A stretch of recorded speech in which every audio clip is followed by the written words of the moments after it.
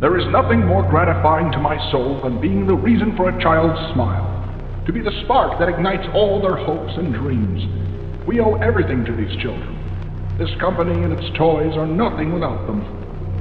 That is why it is with enormous pleasure that as the founder of Playtime Co. I announce Playcare, our very own on-site orphanage. A child should never be left unloved, never without a hand to hold when they see a monster in their closet. May play care bring joy, inspiration, and smiles to every child who enters these doors.